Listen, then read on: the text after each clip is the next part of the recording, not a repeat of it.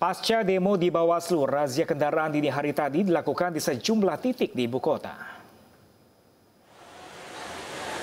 Guna mengantisipasi masa, aparat gabungan merazia para pengendara yang melintas di kawasan Pluit Raya, Penjaringan, Jakarta Utara.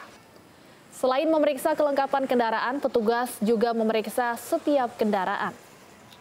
Selain di Penjaringan, razia juga dilakukan di kawasan Pademangan, Tanjung Priuk, dan Kelapa Gading dengan kekuatan masing-masing 80 personil.